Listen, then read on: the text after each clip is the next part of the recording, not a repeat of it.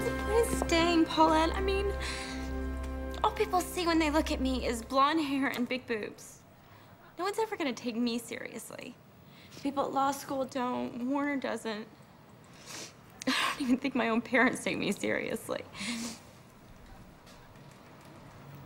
I just felt like, for the first time, that someone expected me to to do something more with my life than just become a Victoria's Secret model.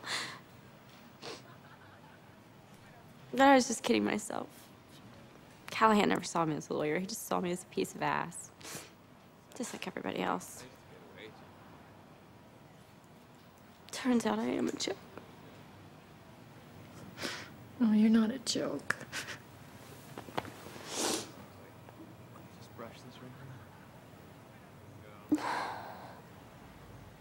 The hell with law school. I just wanted to say goodbye. If you're going to let one stupid prick ruin your life,